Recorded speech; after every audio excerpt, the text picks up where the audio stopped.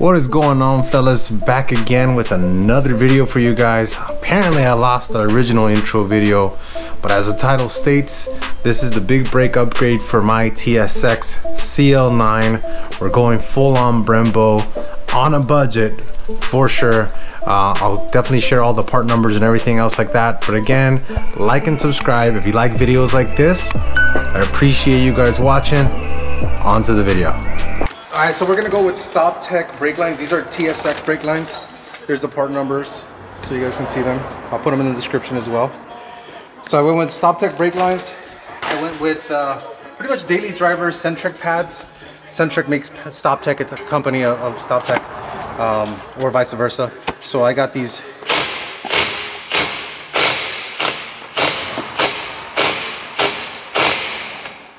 You done?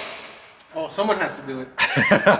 so We went one episode without it. Like, dude, even AJ had Gotta bring etiquette. it back. Got it. Let's bring it back. So these are the huge uh, brake pads for those Brembos. I got a rebuild kit also from Centric, and these are the the Centric the hub Centric rings that I was talking about that uh, Brian from Fast Brakes provided for these huge uh, rotors. I just went with standard Wagner rotors. These were about 26 bucks a piece. Um, here's the part numbers there. These were about 26 bucks a piece. So these were about, I think $30 or something like that from Brian. You'd have to contact him. This was about 10 bucks. And then these pads were about $35 or something like that, all from Rock Auto. So 30, 40, that's 70, plus 15, that's 85, plus $50. What is that? Can, can you math for me? So that's about a buck 35. So 135 bucks. The lines were another $100. That's 235. And the calipers were 100 bucks each. That's 435. So for 435 bucks, you get a super massive brake upgrade over the stock TSX stuff. So we're gonna take it off. Uh, you guys are gonna be able to see. I'll, I'll show you the difference in the rotor, the size difference. It's, it's huge. It's a huge difference. It's huge. Um, and uh, yeah, so let's keep going, dude. So AJ went ahead and took the caliper off. Of course, the one thing that I already knew is that this dust shield was either to be completely removed or we have to go ahead and cut it. So if you zoom in here, Sergio, um, we're gonna have to cut these these lips off right right about here, maybe a little bit more on the bottom and the top, because this Brembo's so large that it won't let it line up to the holes. So that's probably like the biggest issue there, but we already knew that, so we expected it. So as you guys can see, this this point of the dust shield, I'd like to keep the dust shield if possible. So yeah, I'll just cut it here, and that should be more than enough to be able to fit this. I'll cut that there, and I'll cut it here as well. Cut it down here. So let's do that.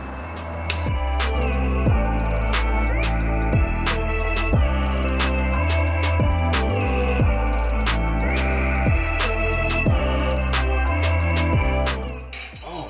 I wanted to use the jaws of life. more than I needed, but it ensured that we didn't have to cut. So I like to measure none and then cut once. How about that, guys? So now I just want to check, AJ, uh, you got the bolts that, let me, I just want to make sure this hardware works. This is the original hardware that came with the, the stock brakes. So we'll see if that's enough threading to go through these. And it looks like it is not. See how these threads are too short, AJ? Kind of zoom in a little bit. HDR run? Actually, I got one up on you. I already ordered the bolts at Hyundai. They're waiting for me. So I ordered original um, Genesis uh, bolts. So we'll see if those bolts actually fit better than these. Um, really, we only need bolts that are about, I would say, 15 millimeters longer. Um, I wouldn't run these this way because that, that just wouldn't be safe. So we're just gonna go ahead and finish the whole setup. And then what we'll do is we'll run down to the Hyundai dealership and pick up the bolts that I had already ordered that are waiting for me. And then uh, we'll complete this and that'll be that. So let's keep going on that note. Cool. All right, so we had to do the second best thing that we could do here. And what was the second best thing we could do, AJ? Space it out. Oh man. One thing I don't like to do, but we called Hyundai and unfortunately on a Saturday like today, due to the current COVID situation, we couldn't get our bolts, but they're there, they're waiting for me. So we're gonna bolt everything on. But on Monday, I'll go and pick up the actual bolts. And uh, I went to the hardware store. Unfortunately, they didn't have any uh, M12 by 1.25 threaded 30 mil bolts that we would have needed. So that's gonna do for now. So now we have to bleed the brakes. The brakes are on after a lot of finagling with it. It was actually quite easy. The hardest part was actually taking off the brake lines and replacing those. So pretty much it's, it's a bolt-on affair. But one thing I did want to mention now that we're going to bleed it, uh, I am going to use ATE Type 200. Let me show you guys. Again, good stuff. Has something with a high wet boiling point. Good stuff to use. Um, also, there is a brake bleeding procedure. So ah, to the guy who said that it doesn't take any science and said that all cars are bled the same. No, actually the, the Acura Integra, woo, I got my Hondas wrong. The Acura TSX has its own bleeding procedure, which is uh, left front, right front, right rear, and left rear.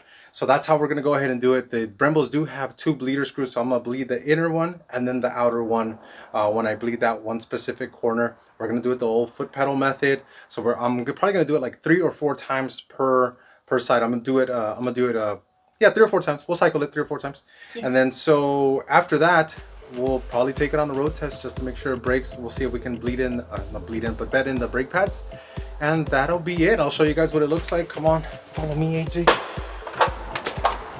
Don't mind the mess that we have here, but this is what it looks like.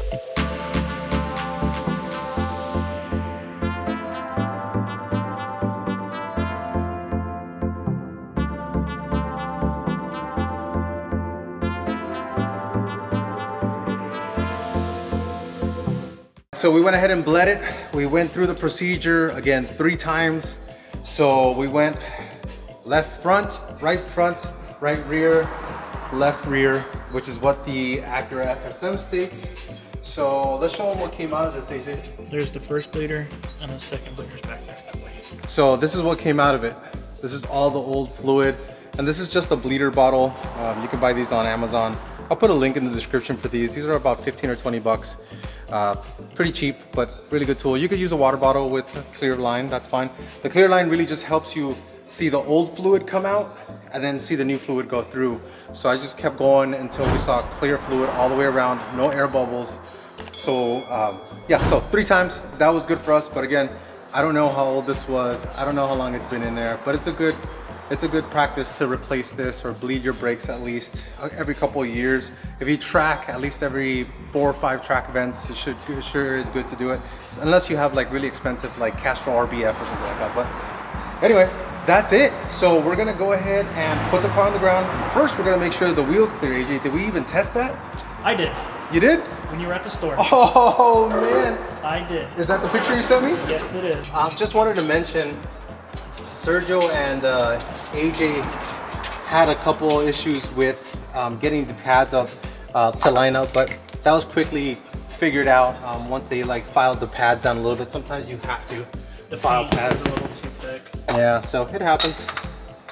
So let's see. Oh, you know what? Yeah, let me do this.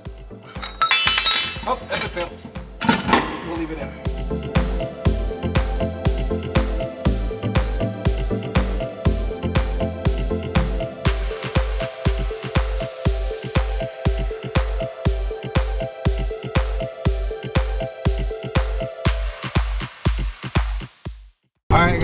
Driving on the Brembo upgrade for about two weeks now. Well, as much as I can, of course. We're trying to quarantine and chill as much as we possibly can, right? Uh, but as I'm driving down the 405 uh, south here, so don't mind some of the bumps. I, I, all I can say is it's a fantastic upgrade. Um, for about $450, which is what I spent on all the all well the complete upgrade, including front rotors, pads, the hub-centric rings from Fast Brakes. Thanks again, Brian, at Fast Brakes, and the StopTech brake lines. I mean, you can't you can't beat that for 450.